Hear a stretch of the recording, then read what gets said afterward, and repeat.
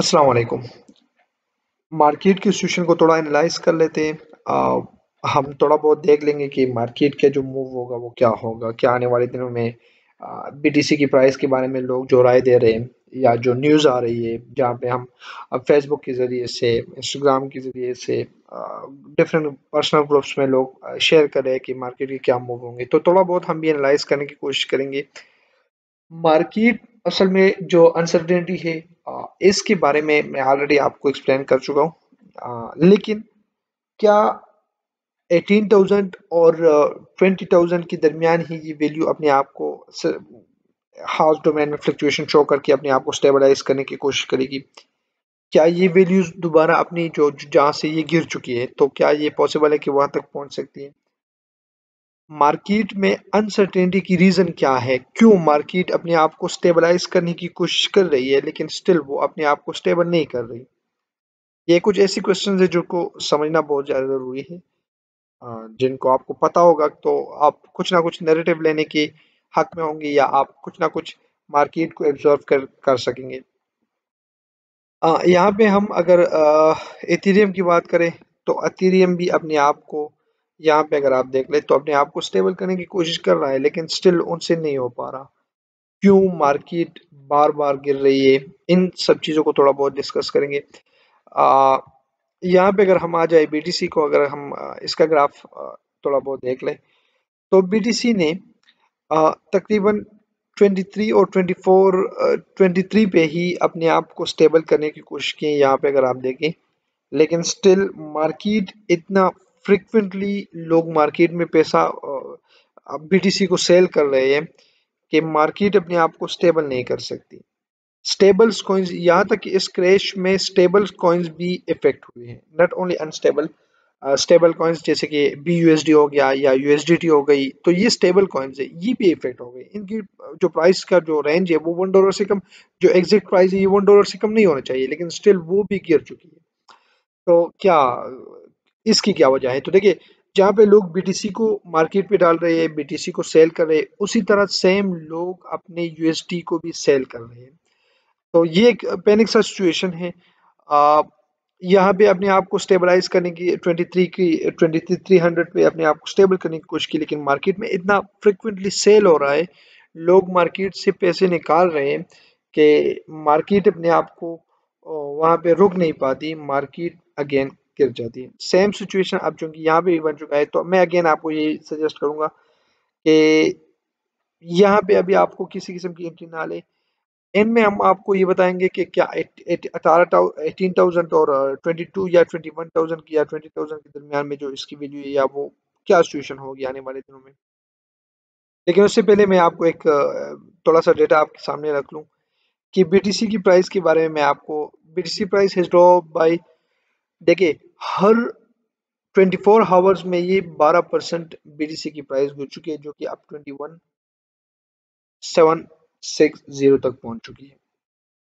49 percent of the total crypto market इतनी in last seven days में market 49.2 percent गिर चुकी है लास्ट सेवन डेज़ में।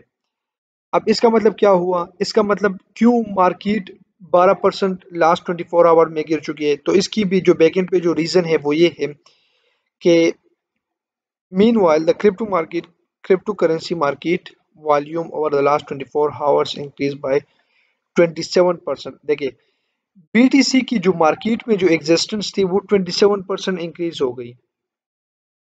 110 बिलियन तक पहुँच गई। उसकी रीज़न क्या है? क्योंकि देखिए मार्केट में सेल बहुत ज़्यादा हो रहा है। इन्वेस्टर्स जितने भी थे, वो अपने आप, अपने अपने, जिनके पास बीटीसी था, जिनके पास इथेरियम था, जो भी करेंसी थी, वो अपने आप को निकाल रहे मार्केट इससे पहले कि मार्केट और अनस्टेबल हो जाए तो वो अपने आप को निकाल रहे। तो एक रीज़न है कि 12 परसेंट, ये 27 परसेंट इंक्रीज आ गई।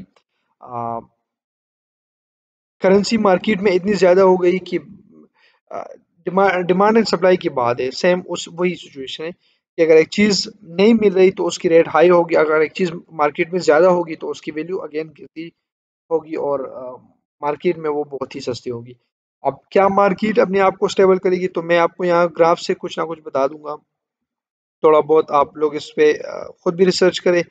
जिस तरह मैंने यहाँ पे कहा कि मार्केट यहाँ पे जो फ्लक्चुएशन अपने आप को स्टेबल की लेकिन नहीं कर पा रहा, अब यहाँ पे अपने आप को स्टेबल करने की कोशिश कर रहा है, लेकिन मुझे नहीं लगता कि यहाँ पे भी अपने आप को स्टेबल कर सकेगा।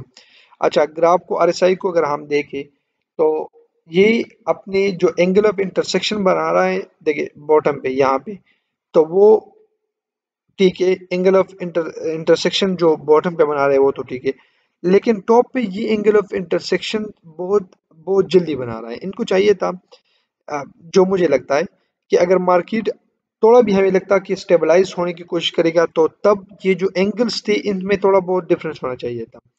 अगर बॉटम पे ये ये एंगल बना रहा है, अपने आप को इंटरसेक्ट करके तो टॉप पे इसकी ये इतने कम परसेंट या इतनी छोटी एंगल की मूव से ये इतने, इसका जो एंगल था या इसका जो लाइन था, ये इतने टॉप पर नहीं पहुँचना चाहिए था। होना तो ये चाहिए था कि इतना मूव आता, जितना अभी आ चुका है, जिस तरह ये टू कैंडल्स आपको नज़र आ रहे होंगे तो इससे इसके बदले में इतना जो आरएसआई का जो ग्राफ था इतना ऊपर नहीं जाता। अगर ये थोड़ा सा यहाँ तक होता या यहाँ तक होता तो तब हम कहते कि हाँ मार्केट अपने आप को स्टेबलाइज करने की कोशिश कर रही है और स्टेबल हो भी रही है क्योंकि यहाँ पे ऐसा नहीं है। यहाँ पे अगर टॉप बॉटम पे आ, अपने आप को स्टेबल करने की कोशिश करे तो अब इतना स्टेबल हुआ ही नहीं कि जितना उन्होंने उसके अल्टरनेट का जो आरएसआई का जो ग्राफ था, वो कितने पीक पर पहुँच गया इतनी ऊपर चला गया। तो ये एक वो है। दूसरी बात यह कि जो न्यूज़ आ रही है, उसके बारे में आपको बता दूँ कि अगर मार्केट की जो जो मार्केट की सिचुएशन अगर मैं आप लोगों को बता दूँ कि अगर मार्केट अपने आप को 20 और 22 या 20 29 इसके दरमियान 19,000 या 22 या 22 इसके दरमियान अपने आप को एक वीक के लिए अपने आप को रख ले तो मार्केट में स्टेबिलिटी फिर आ सकती है। लेकिन जब तक आप अब मैं आपको ये सजेस्ट करूँगा किसी किस्म की ट्रेड ना लें आप किसी किस्म की एंट्री ना लें किसी भी करेंसी में आप किसी भी किस्म का ट्रेड ना लें जब तक मार्केट एक वीक के लिए या वन एंड हाफ़ वीक के लिए अपने आप को छोड़ नहीं देती अपने आप को किसी हाउस डोमेन के अंदर फ्लक्चुएशन शो नहीं करेंगी तो तब तक आप किसी किस्म का ट्रेड ना लें। आपको तब लेना चाहिए जब मार्केट किसी हाउस डोमेन के अंदर अपने आप को थोड़ा बहुत फ्लक्चुएट करे और अपनी फ्लक्चुएशन शो करे तो तब आप किसी किस्म का ट्रेड भी ले सकते हैं। तो क्या market eighteen eighteen thousand dollar से भी गिर सकती है? तो बिल्कुल आ, गिर सकती है। अगर ये सिचुएशन बनी लोग इस तरह सेल करते रहेंगे तो मार्केट बेशक गिर सकती है। क्या नहीं भी गिर सकती? तो नहीं गिर सकती, उसकी रीज़न तब होगी कि अगर मार्केट किसी एक वीक के लिए अपने आप को स्टेबल करे तो ये एक इंडिकेटर हमें मिलेगा कि मार्केट इससे और नीचे नहीं गिर सकती। लेकिन अगर अपने आप को स्टेबल नहीं किया और मार्केट में लोग इस तरह सेल करते रहेंगे तो बहुत ही मुश्किल काम में, बहुत ही मुश्किल लग रहा है कि मार्केट अपने आप को स्टिल स्टेबल कर सकेगी। देखते हैं कि वक्त बिटकॉइन वक्त के साथ साथ कहाँ पे देखने को मिलता है। तो जैसे ही न्यू कुछ अपडेट्स आएँगे तो आप लोगों के साथ लाजमी शेयर करेंगे। Thank you